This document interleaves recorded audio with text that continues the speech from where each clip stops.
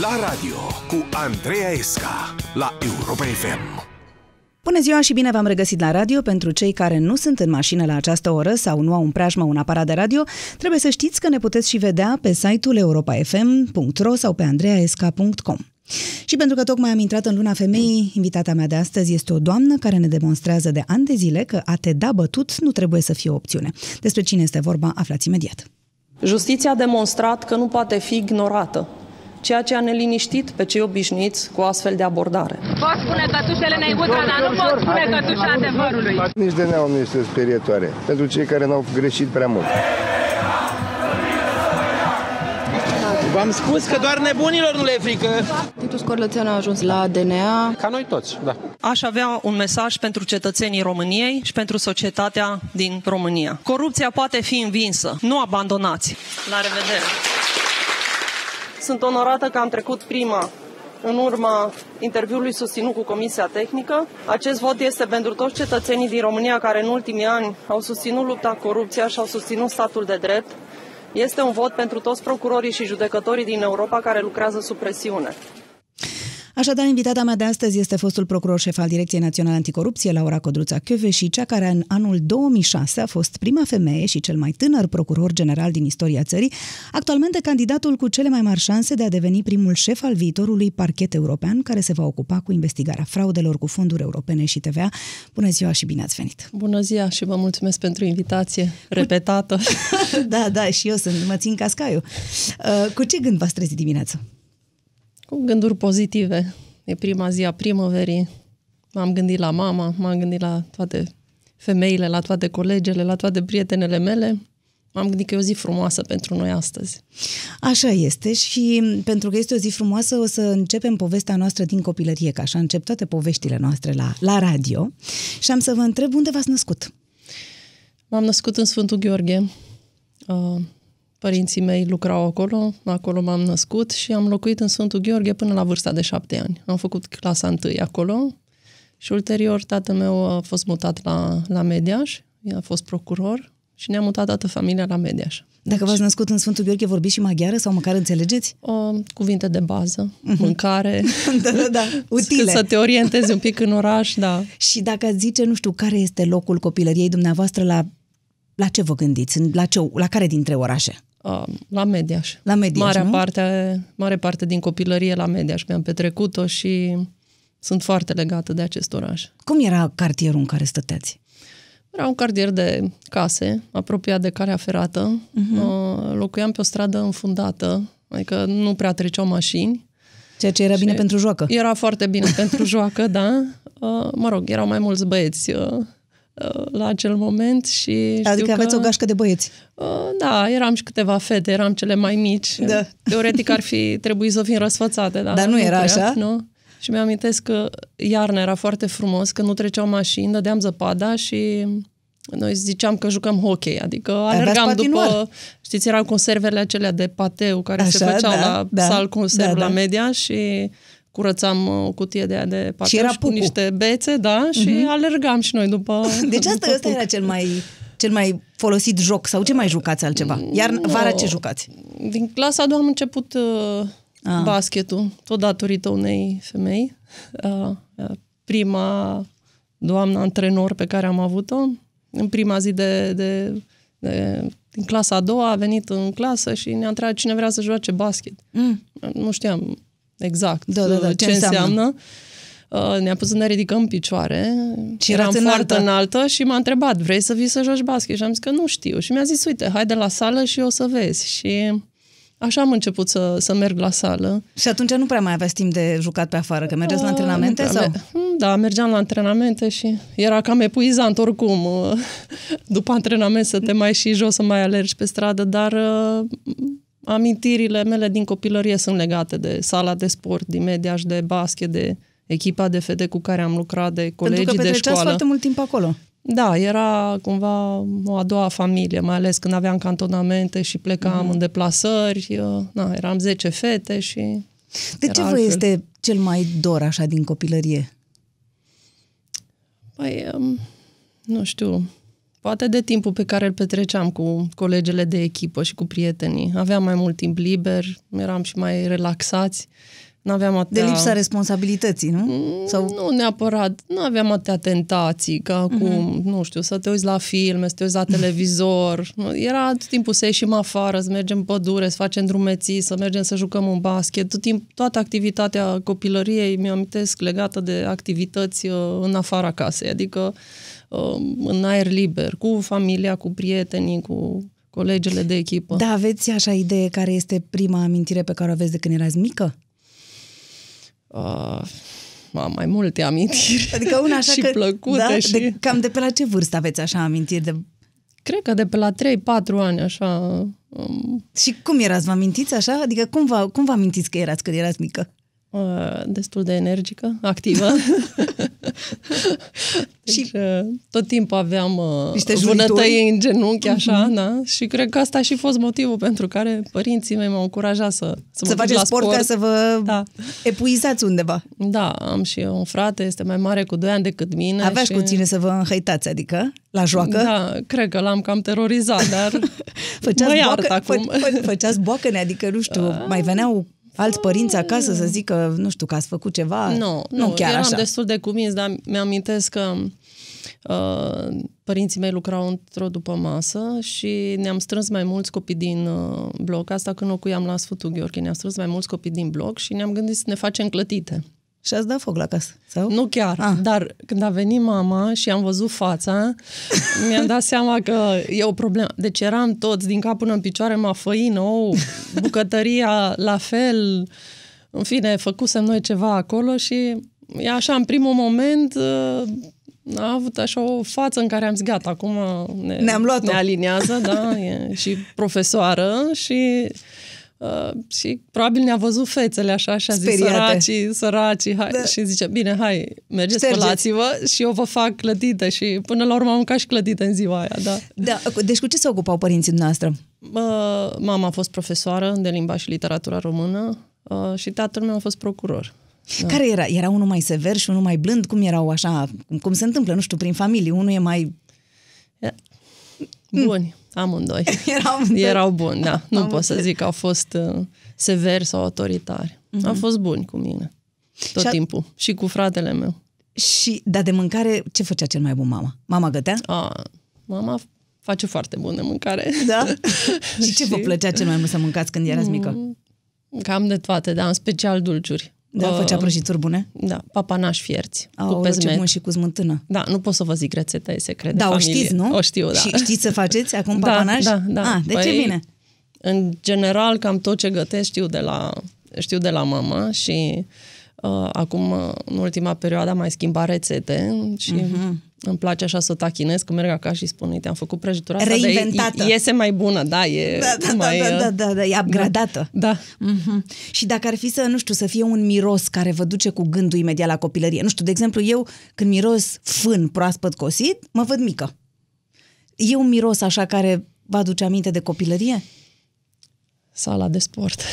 Da, Nu și, pot asta- să uit. și asta e adevărat, că uite Deci, și eu la uh, bazin mirosul ăla de clor mi-aduc aminte de când sala eram mică. de, sala de sport și uh, mirosul acela de echipament proaspăt spălat, pentru Mhm. că mama săracă a spălat tot timpul tricourile și pantalonii și aveam nevoie tot timpul de echipament curat și curățenia asta e mirosul care mi-l amintesc așa.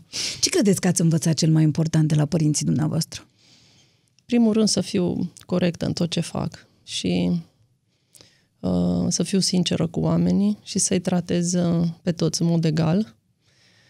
Um, și v-am spus, părinții mei, mă rog, au fost, pentru că tata nu mai este, uh, au fost buni tot timpul cu oamenii din jurul lor, au fost buni cu noi și cred că asta e cel mai important lucru pe care l-am învățat de la ei. Aveți bunici?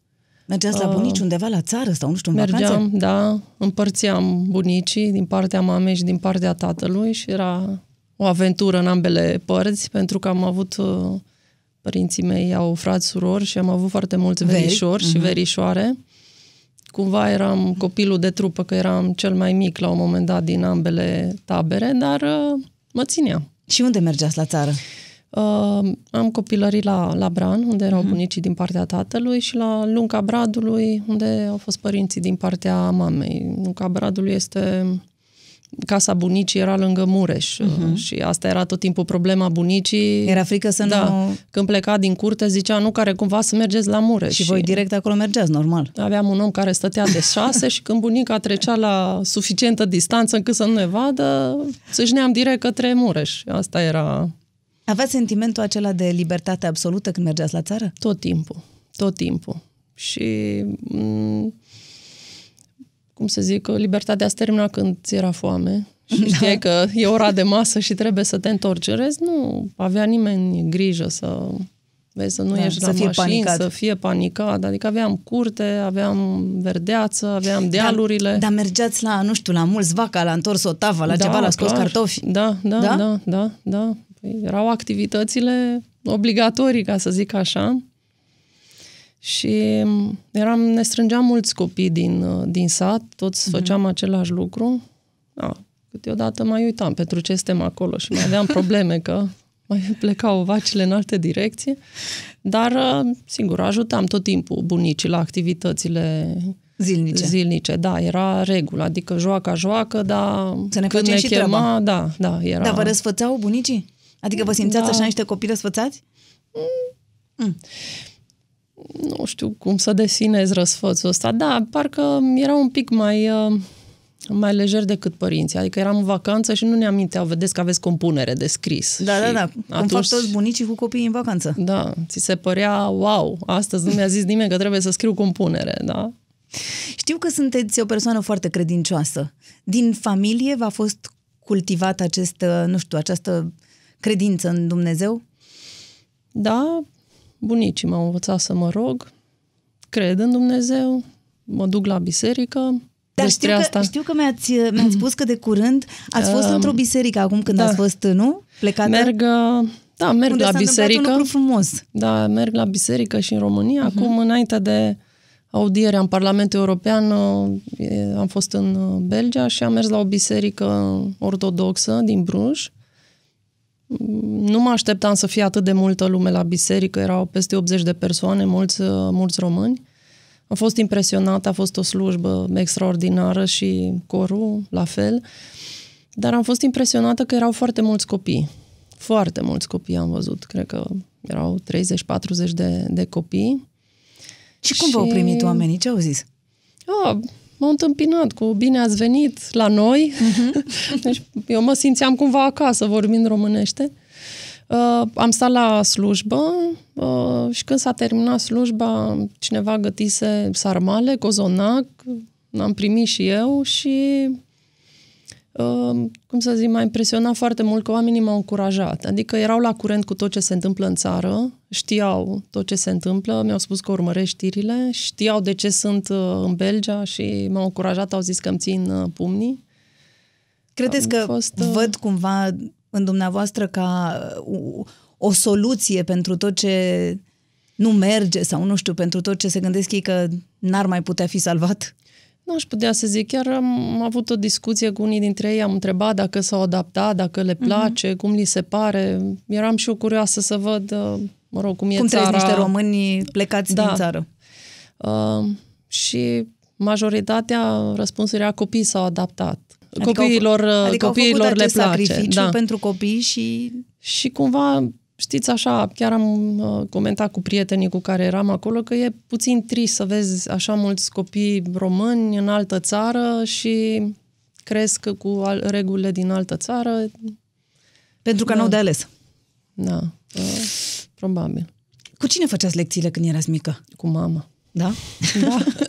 și la grădiniță? Ați fost și la grădiniță? Am fost și la grădiniță, normal, era obligatoriu, nu puteam să o ratez. Erați tipul acela de, nu știu, de copil care mergea la serbare, spunea poezii, mergea la grupul de, nu știu ce se făceau, da?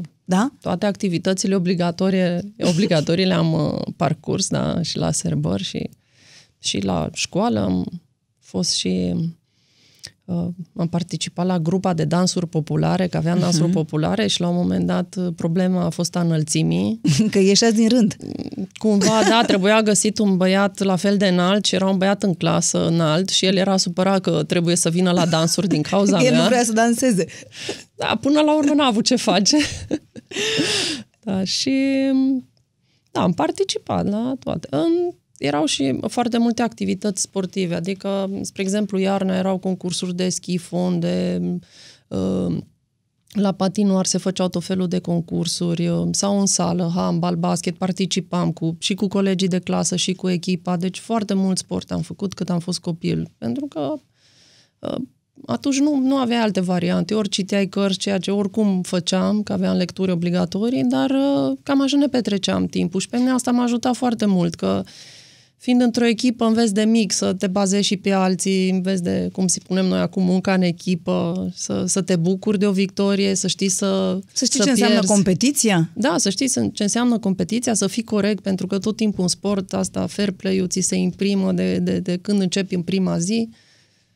Să știți că am stat și eu de vorbă cu un profesor uh, de-al dumneavoastră de la Clubul Sportiv Școlar Mediaș, Mircea Rotaru. Ah. Ia să vedeți ce mi-a povestit. Era ambicioasă, luptătoare pe teren. Mă chiar și muștrulea câteodată când creșteam eu, simțea că deja ea este șefa. Care credeți că erau aturile ei? Perseverența, munca continuă și avea și inteligența necesară pentru a rezolva probleme care le puneam pe teren. Muncă multă, volum mare, poate să ducă mult. Da. Avea vreo poreclă sau îi se spunea cumva pe vremea respectivă? Codra, Codra. Codra? De Codra la... de la Codruța. Cum era în relația cu colegele ei? Avea autoritate, se știa să vorbească cu colegele, nu avea nicio divergență cu ele pe acolo. La mine cel puțin a fost capitan de echipă, au fost în perioada respectivă. Și cu părinții, care era relația ei cu părinții, vă amintiți? Părinții foarte bună, cu taică el se interesa mai mult puțin decât mai că sa el și venea pe la școală, cu el vorbea mai mult de rezultatele și de ce făcea el la antrenamente. Ați mai ținut legătura după ce s-a făcut mare, să zic? Păi când vine acasă la mea și tot timpul vine pe la școala sportivă, de exemplu, în vară și jucam, am jucat și basket în sală. Am făcut un joc împreună, am zis, hai Codruța să ne aducem aminte. Și mai știe să joace? Da, știe, nu uitați. Să învăța nu se uită. Ce credeți că a învățat-o sportul de performanță? Atitudinea, atitudinea, corectitudinea. Aici e un sport de echipă, colectivitate, trebuie să te înțelegi cu ei. Aveți un mesaj pe care vreți să îl transmiteți pentru că o să vă asculte la radio? Bravo, Codruța, felicitări, ești o luptătoare, așa te știu și doresc succes uh, pe mai departe. Deci nu, nu prea păresc că v-a schimbat de când uh. erați mică la da, mulțumesc de surpriză. în echipa de basket. Da, domnul profesor a fost elegant când a zis că am jucat azi vară. E adevărat că am jucat, dar am cam mâncat bătaie. Adică... Nu, nu, mai, nu mai nimeriți de trei puncte sau ce? Uh, ba, nimeream, da. Dânsul nimerește mai bine ca mine pentru că toată ziua e la sală și păi, pe alocuri uh, am avut, am întâmpinat probleme. Are mai mult antrenament.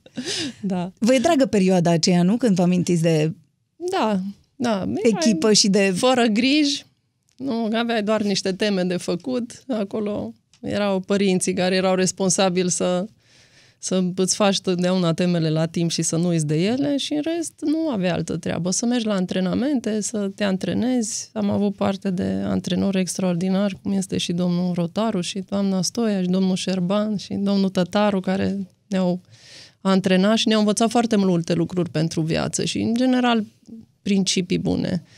Și, uh, Până la ce nivel ați jucat? Adică la un moment dat ați fost în, mai, în echipa...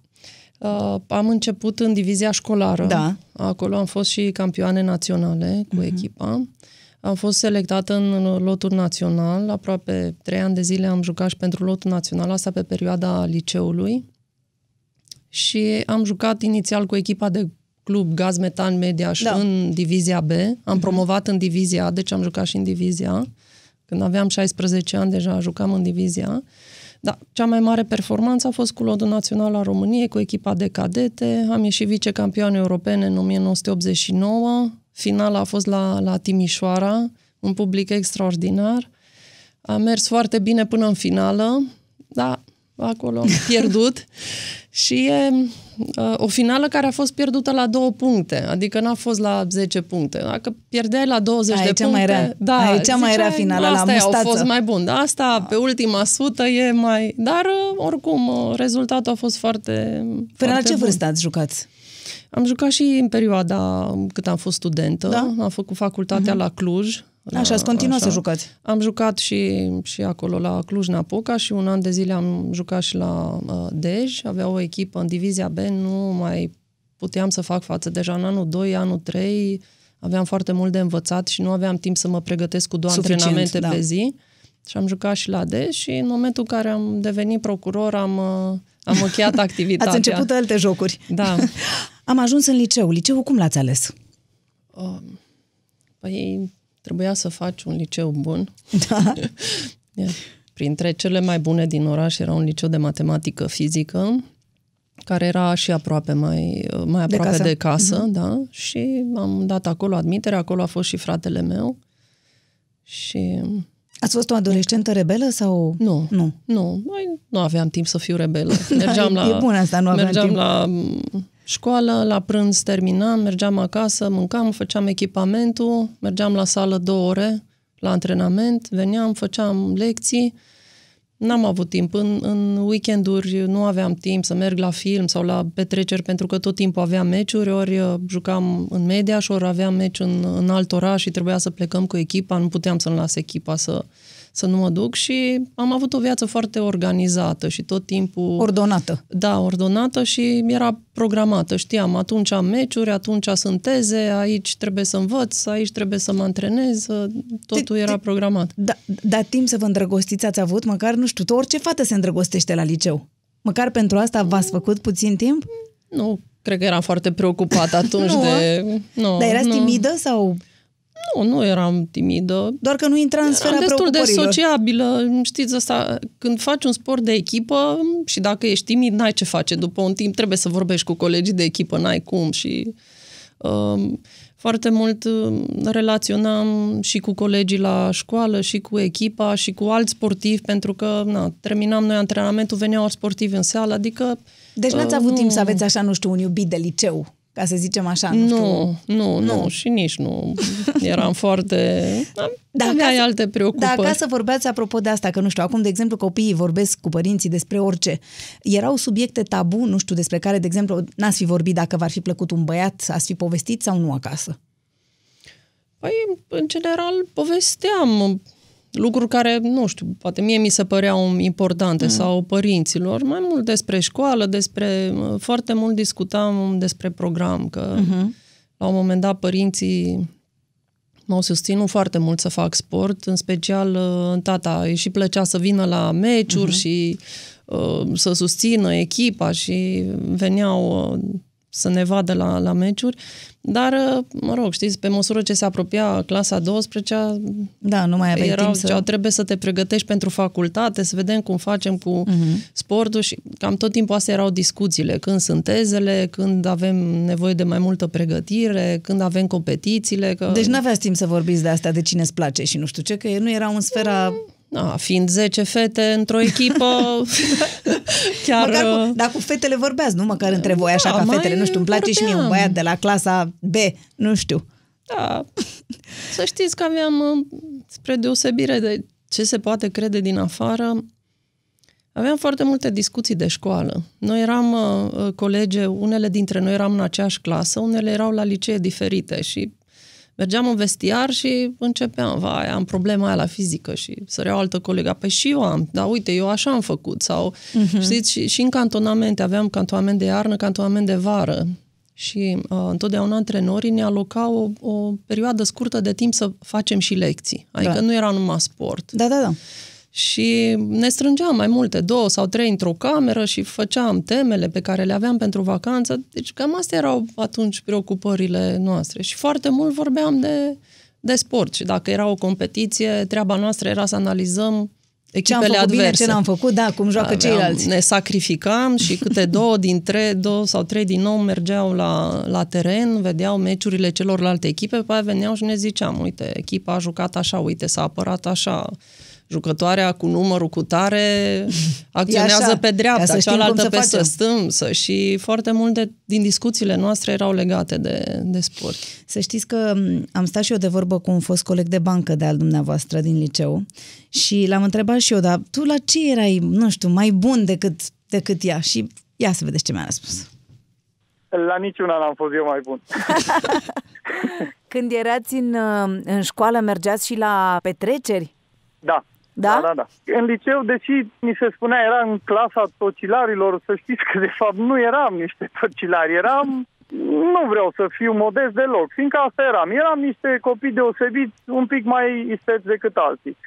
Și ne plăcea să ne și distrăm, eram de gașcă, la noi veneau la chefurile, abia așteptat cineva în liceu să știe că organizăm noi un chef, că veneau și alte clase. Deci da, era, era de gașcă. Vă mai amintiți cum era relația ei cu familia, cu părinții? Da, o relație deosebită, cum să nu? Dați seama, la fiecare stropit, la fiecare, știți, la noi în zonă să merge de pas la stropit. Da, da, da. Deci noi mergeam la stropit, la fiecare stropit, la fiecare colindat, ne întâlneam, mergeam acolo de cele mai multe ori și rămâneam acolo mai mult, fiindcă eram primiți deosebit și întotdeauna elevi fiind, ne-a făcut plăcere să mergem la, la ei acasă. Acum cum o vedeți? Cum ați descrie-o acum? Aș descrie exact ca omul care a fost în liceu și care și-a continuat ceea ce a dorit să facă. Același om deosebit care a ajuns la nivelul maxim în meseria pe care și-a ales-o. Așa a fost și în uh, liceu, ambițioasă, și la basket, și la învățătură. Toți colegii mei sunt uh, sau cadre didactice, din păcate un, majoritatea în străinătate, dar ceilalți sunt medici de succes și pot să spun Codruța, să zic, este vârful dintre noi, atins maxim. Viitorul procuror șef european, fiindcă eu nu am dubii că va reuși să obțină acest post. Aveți un mesaj pe care vreți să îl transmiteți pentru că o să vă asculte la radio? Codruța, chitare. S-a emoționat. Da. E Daniel Rotaru, colegul, să spun pentru ascultători, colegul de, de clasă și de bancă. Al, da, a făcut la- și basket. Da, Era și-a în făcut echipa și de basket, băieți. mi-a spus, da. da, da, da, da. Era foarte emoționat așa când l-am întrebat. Vrei? Păi, um, ne-am mai întâlnit, ne mai întâlnim în media și am fost și la întâlnirea de 10 ani de la terminarea liceului și la celelalte întâlniri cu colegi. Într-adevăr, foarte mulți dintre colegii mei sunt plecați în, în America, în Canada, în Germania, lucrează pe la universități, sunt foarte, uh, foarte buni în meseriile pe care și le-au ales. Chiar uh, pot să spun că a fost o generație bună. Cum v-ați hotărât să dați la drept? Uh, cred că a fost și un pic uh, influența tatălui. Îmi plăcea așa. Nu, nu vorbea foarte mult despre Ce făcea? serviciu, dar uh-huh. mi se părea că mă, cumva face un lucru important și un lucru bun. Uh, eu am terminat liceu de matematică fizică. Fratele meu a dat la Politehnică și da, într-o mică paranteză, uh, prima zi de școală, tot timpul mă întrebau profesorii, ești sora lui Sergiu? și ziceam, "A, gata, e clar, trebuie să învăț. Adică Că el era foarte bun? era foarte bun, Ah. foarte bun. și um, m-a mai ajutat la matematică, Mhm. de cele mai multe ori, și la fizică, că mai aveam teme mai grele. Dar uh, am simțit că nu acesta este drumul meu. Îmi plăcea, mai mult îmi plăcea româna, Mhm. istoria și a venit Revoluția în 89 și atunci m-am decis să dau la drept. Se schimbaseră și materiile și am zis să, să dau la drept. Și în clasa 11 m-au întrebat părinții, uite, te-ai hotărât, trebuie să te gândești. N-au pus presiune, doar mă întrebau și le-am zis, da, m-am hotărât, o să merg la drept. Și s-au bucurat amândoi, s-au bucurat. Asta cu meditații? V-ați apucat de meditații pentru facultate sau nu? Uh, nu, puțin în clasa 12 am făcut meditații la istorie, că deja m, nu mai făceam, fiind liceu de matematică, fizică, uh-huh. nu prea, dar uh, gramatică o aveam Dar pe ce mama. vă gândeați că o să faceți? Adică ce vă imaginați că înseamnă asta? Dacă o să fac dreptul, ce o să fac după aia? Păi, uh, bă, tatăl meu inițial a încercat un pic să mă influențeze și mi-a zis să mă fac notar. Și De ce? Că e mai Asta e o ușor. meserie, da, mai pentru femei, mai ușor, mai faci contracte, Mhm. mai... Uh, am zis, da, Mi s-a eram- părut prea statică pentru o Mm. basketbolistă. Nu că nu eram foarte decisă, dar uh, am avut avantajul că uh, am avut multe sesiuni de practică și eu am luat foarte în serios și am mers și la judecătorie, și la procuratură, și la cabinet de avocatură, și la cabinet de notar și mi-am dat seama ce, cam Înseamnă ce mi cam se ce. potrivește și pentru ce aș fi eu potrivită. Și în anul 3 m-am, m-am decis că o să fac procuror. Pe de altă parte, mi-au plăcut foarte mult și materiile, dreptul penal și procedura penală și cumva cred că și asta m-a determinat să... Au fost poate și niște profesori, nu știu, care v-au fost, care v-au inspirat, adică aveați Da, au profesori fost buni? foarte mulți profesori buni la, la Cluj, foarte mulți uh, dintre dânsi și sunt profesori care, după căror manuale și acum uh, învățăm. Uh, La Cluj a stat la Cămin? La Cluj am stat la Cămin, da. am Și stat cum la era? Cămin. Cum a fost viața de Cămin? Foarte bună. Erați obișnuită din cantonamente un pic, nu? Da, Sau? da. În primul an am stat patru fete într-o cameră, după aceea din anul 2 și 3 facultatea de drept a fost uh, repartizată în alte cămine, stăteam câte două. A fost bine că am învățat să gătim, am învățat să ne gospodărim. Era Care, bine. care a fost traseul după aceea, dacă ar fi, nu știu, să, să alegeți cele mai importante momente din carieră pe care le-ați aminti cuiva? Păi, cred că aceleași, nu știu dacă aș schimba ceva. Am terminat, am dat definitivatul, am mers procuror la Sibiu, am dat definitivatul. După aceea am lucrat la parchetul de pe lângă tribunal, s-a înființat actualul DICOD, m-am mutat la DICOD, deci nu știu dacă aș schimba ceva uh-huh. din, din ceea ce am făcut. Nu, niciodată nu am regretat uh, Parcursul. parcursul. Nu, Ce- absolut deloc. Ce v-a mânat mereu în luptă? Mi-a plăcut foarte mult ceea ce mi-am ales să fac și, cum să vă zic, că tot timpul am crezut în asta, să-ți faci meseria cu pasiune, dar nu cu patimă și cred că ca să fii fericit în viață trebuie să mergi cu plăcere acasă și la muncă și eu cred că acest lucru l-am, l-am făcut. Era o provocare fiecare zi. În niciun caz nu seamănă cu celălalt.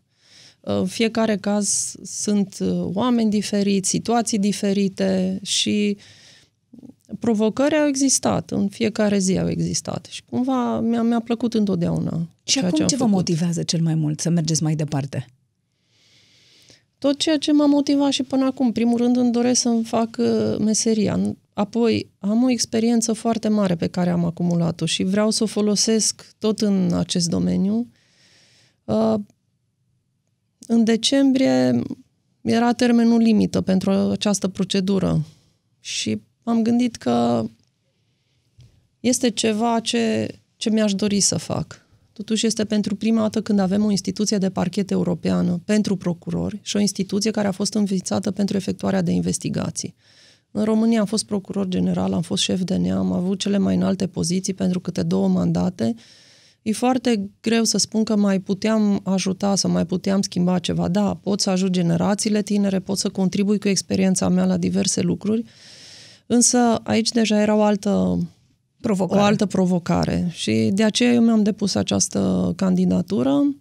N-am spus nimănui că îmi depun această candidatură, sigur, familiei. Le-am spus, uite, o să mă înscriu în această procedură. Și ce a zis mama? Și s-a bucurat. Uh-huh. S-a bucurat. Uh, ea m-a susținut întotdeauna și ea și tatăl meu și fratele meu și toată familia m-au, m-au susținut tot timpul în alegerile pe care le-am, uh, le-am făcut. Uh, M-a încurajat foarte mult. Am parcurs primele etape din procedură. Ele au fost cumva... De fapt, toată procedura a fost cumva confidențială. Știam că ne-am înscris foarte mulți. Uh, Am trecut de primele etape. Pe măsură ce parcurgeam câte o etapă, primeam câte un mail în care ni se dădea un feedback.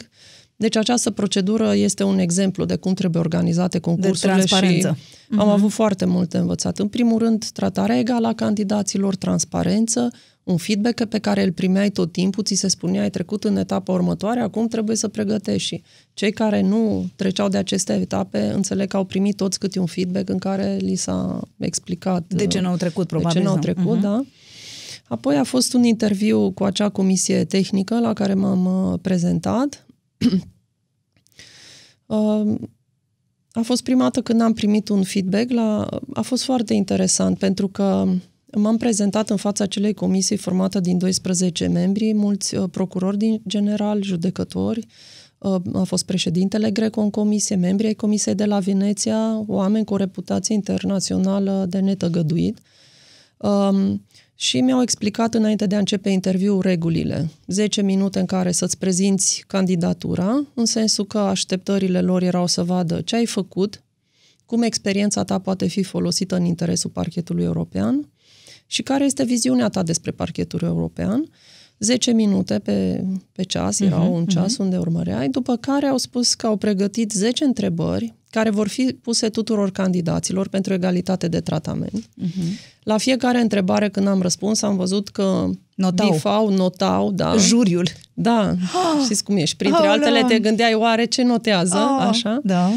Uh, uh, la sfârșitul acestei sesiuni de întrebări au spus că sunt întrebări pe care membrii comisiei vor să le adreseze, ori din documentele pe care noi le-am trimis, ori din răspunsurile pe care uh-huh. le-am dat și au completat. Au fost foarte multe întrebări, întrebări suplimentare. Întrebări suplimentare, despre... dar au fost legate de regulament, da. de viziunea ta despre cum uh, să aplice anumite reguli. Au fost și chestiuni care țineau de uh, persoana ta, care sunt calitățile tale mm-hmm. sau, mă rog, unul din membrii comisiei Cine au vă spus, recomandă? Ok, uh, ne-a spus numai lucrurile bune, spuneți-le și da. pe cele mai puțin bune sau ce defecte aveți. Au fost și întrebări da? de acest gen, da? Și, și ce le-ați zis? Am spus că uneori sunt încăpățânată, dar eu consider că asta este eu consecvență. sunt încăpățânată pentru că sunt aur, da. dar poate că asta e bine. Da, da. Mm-hmm. De situații dificile pe care le-am avut în carieră, cum le-am gestionat, mm-hmm. deci foarte, au fost foarte multe Dar întrebări. nu vă era frică în timpul ăsta?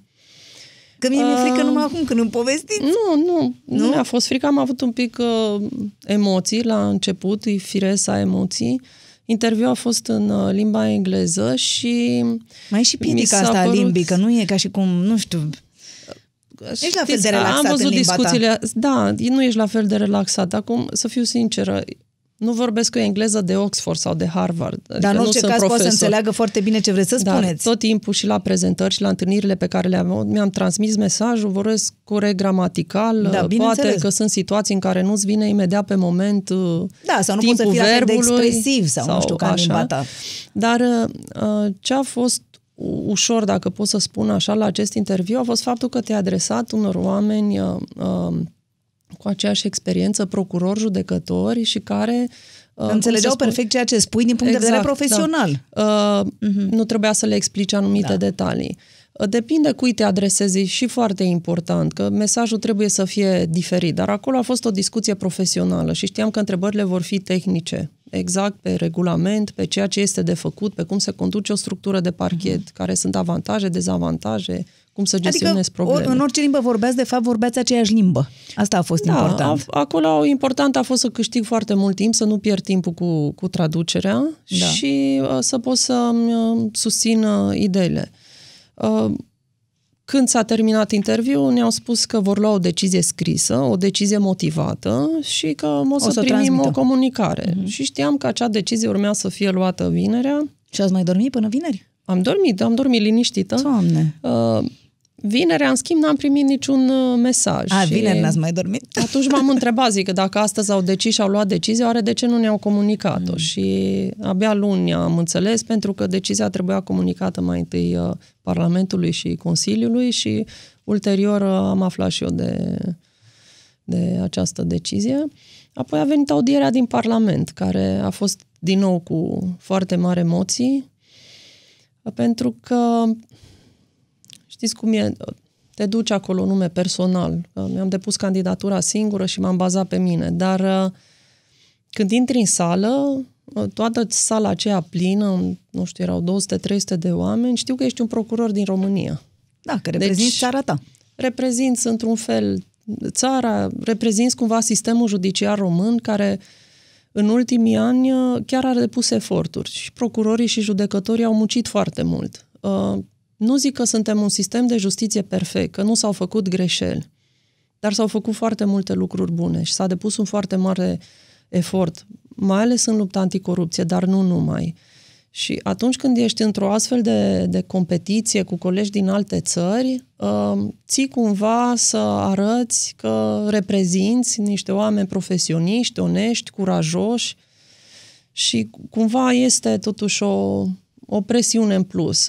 Pe lângă asta și faptul că am primit foarte multe încurajări. foarte mulți oameni, inclusiv pe stradă sau prin telefon sau, mă rog, în alte feluri, prin petiții. Erau foarte mulți oameni care aveau așteptări și care m-au susținut. De fapt, știți cum că am tot auzit niște știri false că a fost o super echipă secretă. Păi, aceasta a fost echipa. Toți oamenii care care mai speră în justiție. Care mai speră în justiție, da. Și care au transmis un gând bun și care fiecare a încercat să încurajeze și da, dar cât de dureros e totuși să vezi că, nu știu, da, uite, te susțin toți oamenii aceștia, dar nu te susține guvernul țării tale? N-am avut așteptări. Deci eu n-am cerut sprijinul guvernului, nici nu m-am așteptat să mă susțină, mă așteptam la o campanie negativă împotriva mea, dar am apreciat foarte mult că am avut posibilitatea în Parlamentul European să lămuresc anumite lucruri. Și am spus, dacă sunt lucruri negative pe care le-ați auzit, vă rog să mă întrebați și este momentul să, să le lămurim. Și asta mi s-a părut că este o procedură onestă și transparentă. Să-i dai și celui care este acuzat că a făcut uh, lucruri uh, negative posibilitatea de a le lămuri cât mai uh, corect. Până la urmă, aceasta este și esența unei dezbateri. Nu să te întrebe doar lucrurile pe care tu vrei sau crezi că te întreabă, ci și alte lucruri. Da, deci... Dar credeți că tot ceea ce se întâmplă în țară și dacă vor continua toate aceste uh, anchete, uh, vă vor dăuna în ce se întâmplă mai departe în Parlamentul European? Asta o să vedem. Este clar că această chestiune cu dosarul penal, care văd că este plin de coincidențe, am înțeles că am fost, s-a început urmărirea penală exact înainte de a merge la audiere, după ce era un dosar vechi de un an de zile și... Dar o altă coincidență este după ce m-am întors. Deci mă întorc din Parlamentul European și primești cetație pentru când? Pentru 7 martie, când se votează din nou și se decide în Parlamentul European. Iarăși coincidență. Deja, nu știu, m-am întrebat și eu, dar de ce am fost citat în 6 sau în 8?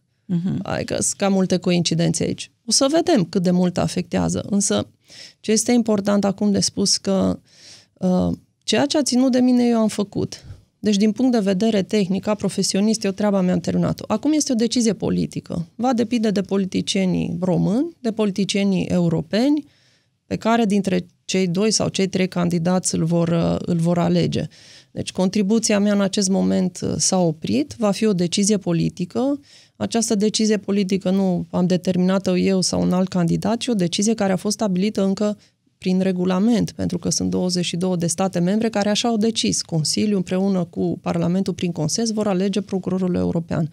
Și v-ați gândit și la varianta în care să spunem că, Doamne ferește, nu veți fi aleasă, ce faceți mai departe? Ei, o să continui uh, drumul. Deci este da, un fapt de viață. în politică sau nu? Nu v-ați gândit la asta? Deocamdată, Deocamdată eu sunt, uh, sunt procuror, și îmi vă place, place. Exact, acest lucru. și îmi place. Uh, nu se termină viața cu o funcție și nici nu începe viața cu o funcție. Uh, Deocamdată drumul pe care am ales să-l merg este acesta. O să analizez opțiunile după ce voi vedea. Deocamdată sunt în această procedură și ca de obicei o să sperăm merg până să, la capăt. Și sperăm să termine ea. cu bine. Haideți da. să ascultăm uh, prima dintre melodiile pe care mi le-ați recomandat, Vama.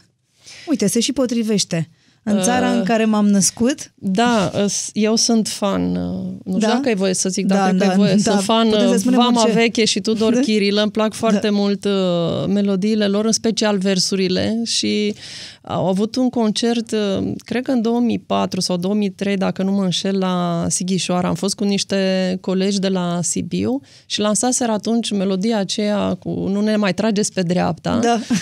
și când s-a terminat concertul, printre cei care eram acolo era și un polițist.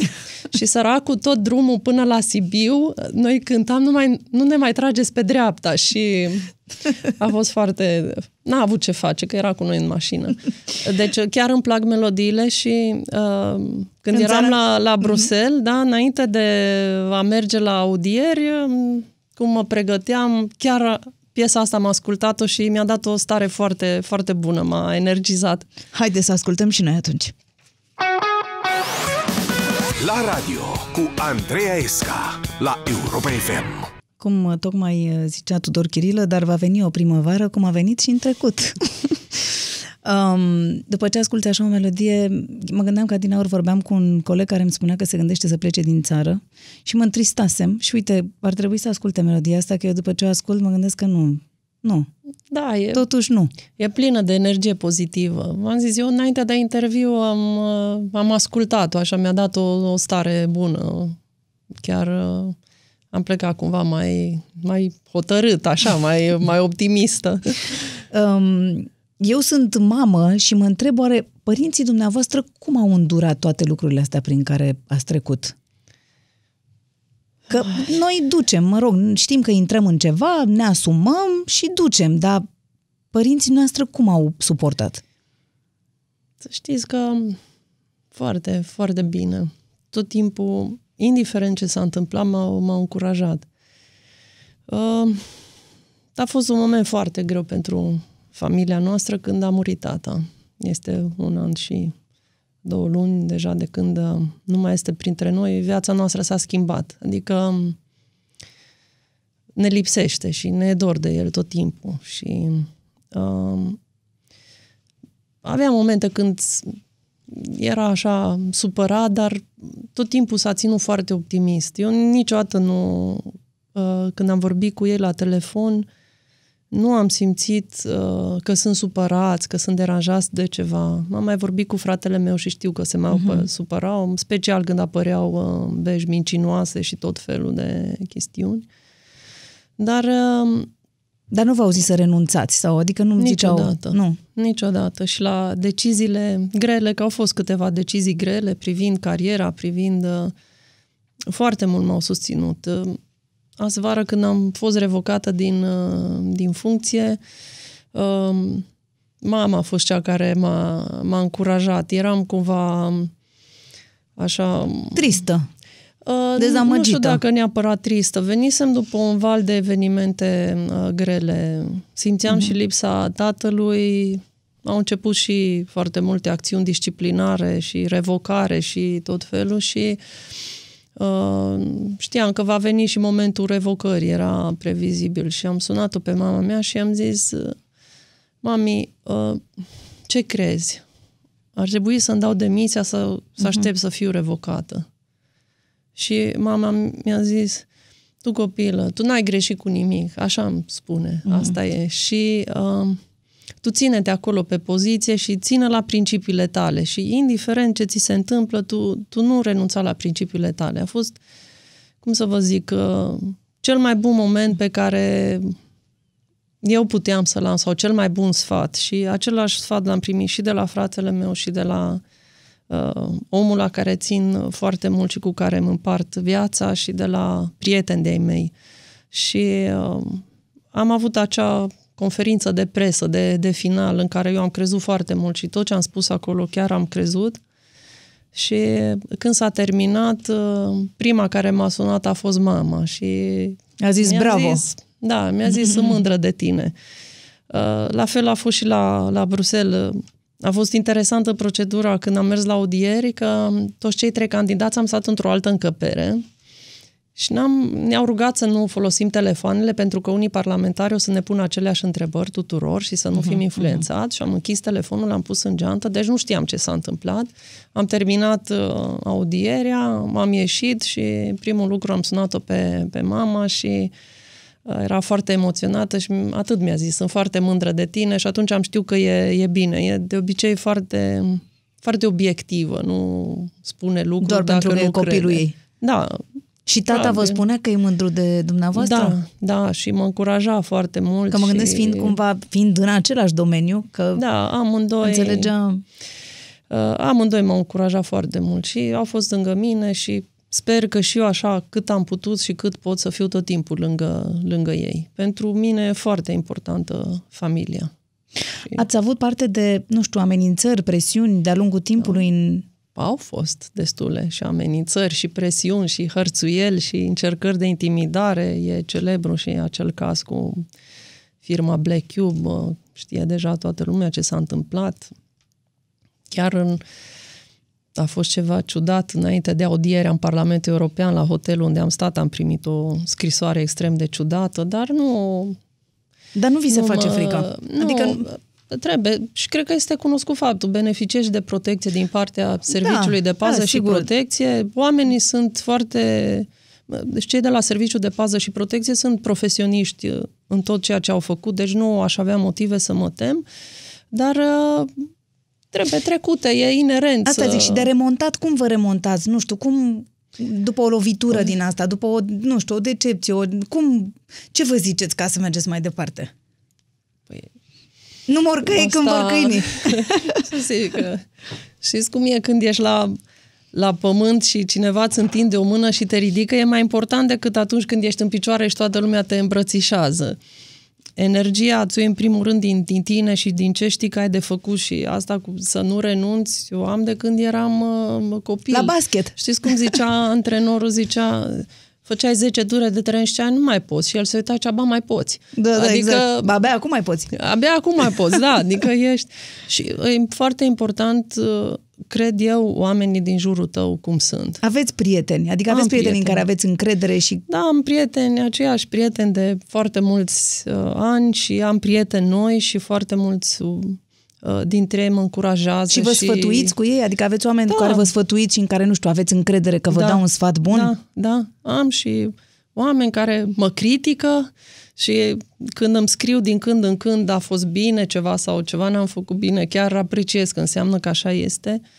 Am uh, două prietene de peste 25 de ani cu care sunt mai apropiată Mhm. uh-huh. și tot timpul ceilalți ne spun, uite, cele trei mușchetare, în ghilimele, nu știu dacă m-am exprimat corect Mhm. gramatical, Mhm. și care tot timpul m-au susținut și uh, prieteni și Dar ele sunt din altă profesie sau din aceeași tot profesie? din aceeași A, profesie. deci chiar știți că vorbiți Da. despre același lucru. Da. E bine, asta e mai bine. Uh, și foarte mulți, uh, am prieteni care lucrează în sistem și colegi, oameni care nu lucrează în sistem.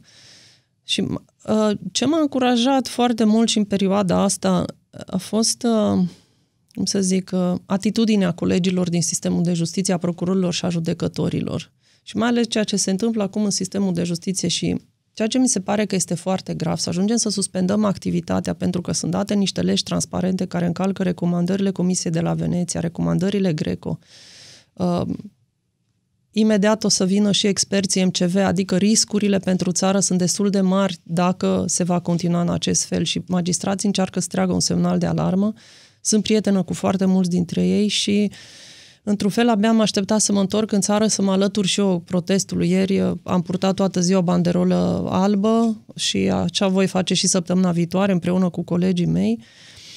Și am foarte mulți colegi în sistem cu care mai vorbesc și cu care mă sfătuiesc. Unii sunt procurori, unii sunt uh, judecători și sigur că avem cumva un punct comun de, de discuții. Credeți că este un avantaj sau un dezavantaj că nu sunteți căsătorită și că nu aveți copil? Acum, uh, ce să vă spun? Poate singurul lucru care rămâne în viață după noi sunt copiii. Uh, sigur că... Chiar așa.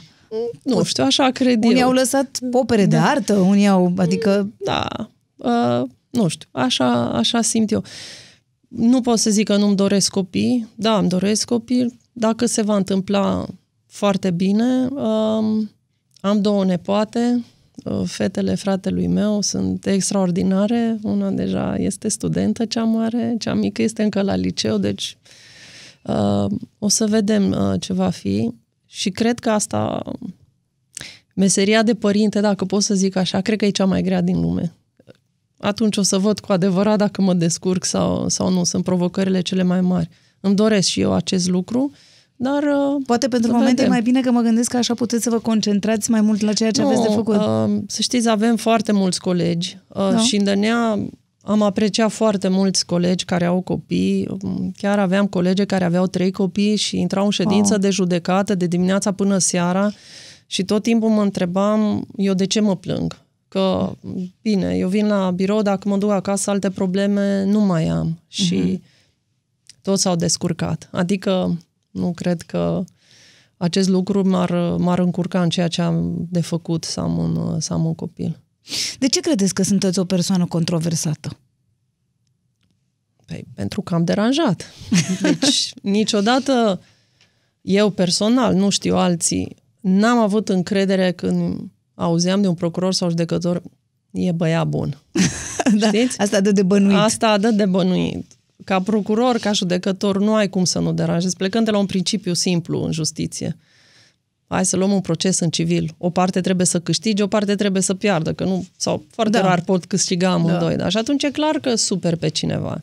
Dar în momentul în care este atâta energie negativă, sunt campanii tești de denigrare, de hărțuire, este clar că ai deranjat și cred că ai deranjat pe cine trebuie. Și toate aceste campanii nu au fost doar împotriva mea, uh, că eram procuror șef al DNA sau că eram Codruza Chioveși, împotriva ideii pe care o reprezentam și împotriva întregului sistem de justiție. Deci, uh, poate că eu fiind mai vizibilă, lucrurile acestea s-au văzut mai mult, dar sunt foarte mulți procurori și judecători care au trecut prin același lucru, au fost sărțuiți, au fost intimidați, au fost amenințați și cu toate astea continuă să-și facă treaba.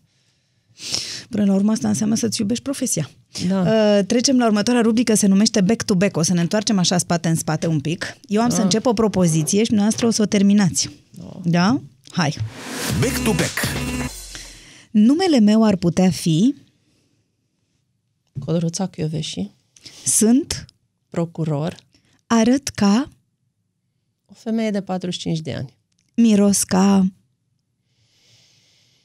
un om curat, Mă simt ca un om corect, Fac un zgomot de liniște, Am un gust de dulce, Ultima mea realizare a fost să fiu prima într-o competiție europeană. Aș fi perfectă dacă Mm. Dacă n-aș fi eu. Mi-e rușine de Să mint. Aș mânca oricând Dulciuri. Pentru bani aș face Mm, nimic. Nu iubesc deloc Ipocriți. Justiția este Curajoasă. Bravo, ne întoarcem. Apropo de curajoasă, au fost momente în care ați simțit că a fost mai greu pentru că erați femeie? A, da, puțin la începutul carierei mele. Știți, primul lucru care te întâmpinau uh, în procuratură în 95, când m-am angajat, era procuratura nu e pentru femei. Asta am De auzit-o bun- foarte asta de bun mult. venit. Bine ați da, venit. Da, asta era de foarte multe ori. Dar au fost și avantaje, adică, știți, sunt situații ca procuror foarte multe în care audiez copii, audiez femei, audiez victime, nu știu, trafic de persoane sau femei violate, bătute și atunci dacă ești femeie este un mare avantaj. Dar asta trebuie cântărite, de asta în procuratură vorbim de munca în echipă, pentru că te împarți, fiecare are aturile lui. Um, știți ce vreau să vă întreb? Am mai intrat un pic mai devreme, dar aș mai insista un pic să-mi spuneți când ați avut cele mai, cele mai mari emoții la audierile din Parlamentul European? Păi, până am intrat. Uh-huh. Până am intrat. Uh, am avut emoții, că știam că sunt foarte multe așteptări. Inclusiv eu aștept, aveam multe așteptări de la mine. Am început uh, prezentarea și după aceea intri pe, cum zic eu, modulul luptă. Nu știu cum să-l descriu. Adică te concentrezi pe ceea ce ai de făcut. Știam că după ce îmi termin prezentarea, vine momentul de întrebări și răspunsuri. Și într-un fel îl așteptam acest moment, pentru că știam că e momentul în care eu pot să spun lucrurile și să, să le explic. Și întotdeauna mă exprim mult mai ușor atunci când trebuie să vorbesc decât atunci când trebuie să citesc. Dar am fost... Uh, mi-am pregătit acea prezentare pentru că am știut că o să fie emoții și cumva am vrut să-mi transmit uh, mesajul foarte, foarte clar. Uh, mă așteptam să fie și întrebări uh, plăcute, mai neplăcute și atitudini mai puțin prietenoase sau mai prietenoase, pentru că până la urmă asta e dezbaterea. Nu am avut emoții pe așa ceva. Dar care a fost cea mai grea întrebare? Sau care vi s-a nu părut cred așa? că a fost nu? o întrebare grea. A fost un moment așa cumva care m-a emoționat. Am stat toți trei candidați înainte să Mhm. intrăm. Da, bineînțeles că am, am povestit între noi Mhm. ce experiențe am avut fiecare și da, mai ales cu colegul din Franța am avut mai mult timp la dispoziție, aproape două ore am stat și a fost foarte emoționant că înainte de a pleca la audiere, amândoi au venit, m-au îmbrățișat, mi-au zis uh, felicitări, îți urăm succes, sperăm Mhm. că o să fie bine pentru tine și uh, Dar părea Știți cumva cum- ciudat că era din partea unui da, concurent, da, nu? E, e normalitatea. Că noi până la urmă acolo uh, ne concuram pe niște principii, pe niște chestiuni. Sigur, fiecare vrea să iasă primul, dar uh, uh, și eu le-am urat succes, dar în gândul meu ziceam, da, totuși, da, aș vrea justiția din România să, să fie mai, mai sus. Că um, am fost la foarte multe prezentări și seminarii și chiar avem oameni foarte bine pregătiți în sistem și sunt convinsă că și ceilalți doi candidați au foarte multe aturi profesionale. Dar uh, a fost un moment emoționant, așa că ne-am încurajat reciproc și ne-am urat uh, succes, deși poate din afară părea că mai suntem într-o competiție, dar uh, cred că eram cu toții conștienți că fiecare a făcut ce a depins de el. Deja decizia e în politică. Pentru că vorbim despre, nu știu, și prietenie, și justiție, și politică. Oare, oare în ce punct e justiția din România acum, azi? Acum este într-un punct foarte greu. Este un punct foarte greu și uh, nu știu dacă singuri o să reușim să trecem peste acest moment. Uh, cred că, nu știu, poate cer foarte mult. Știu că în ultimii doi ani foarte mulți oameni au sprijinit justiția și au susținut-o inclusiv uh, politicieni, uh, funcționari publici, oameni care n-au nicio legătură cu justiție, oameni din companii private. Dar acum trebuie să înțelegem cu toții că este un moment pentru justiție și prin acest protest pe care magistrații îl fac, acesta este semnalul, este un moment greu. Și poate justiția trebuie ajutată, știți, nu e doar pentru procurori și judecători. Este pentru viitorul acestei țări. Justiția într-o țară reprezintă un pilon fundamental și este pentru toți cetățenii, nu este doar, doar pentru unii. Și repet, nu știu dacă justiția a fost perfectă. S-au făcut și greșeli. Nici eu nu sunt un om perfect și eu am făcut greșeli. N-am baghetă magică, n-am cinci mâini, trei capete. Sunt un om ca oricare altul. Dar avem bună credință, avem dorință să facem lucrurile bune și cred că acest lucru trebuie, trebuie sprijinit și încurajat. În ceea ce vă privește, ce v-a deranjat cel mai tare din tot ce s-a întâmplat până acum? Minciuna minciună, minciunile care sunt zilnic sau lucrurile false care zilnic se aruncă pe piață și uh, e foarte greu când auzi 4-5 lucruri neadevărate să ieși la fiecare să, să reacționezi. Poate că da, și asta a fost una din, din greșelile mele. Trebuia tot timpul să ies să, să explic. Însă, uh, cumva, cred că vine un moment în care lucrurile acestea se așează și se adevărul iese la, la, la suprafață. Da. Trecem la 10 întrebări esențiale. Nu sunt cele da. 10 din Parlamentul European, sunt altele. Sper să fie mai ușoare. 10 întrebări esențiale. V-ar plăcea să redeveniți anonimă? Da.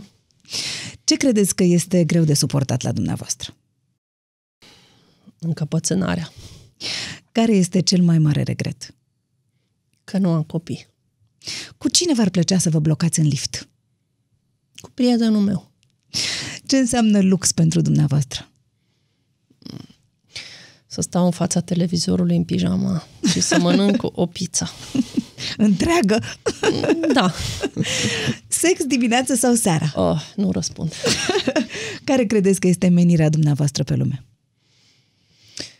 Să fiu corectă cu oamenii. Dacă ar trebui să păstrați doar trei lucruri din tot ce aveți, ce ați păstra? Lucruri. A, lucruri, lucruri nu, oameni. nu oameni. Lucruri. Mm. O carte, da. un caiet și un pix. Care este cea mai cunoscută persoană din agenda dumneavoastră de telefon? Mama. care ar fi un titlu de film care să rezume viața dumneavoastră? Narcos.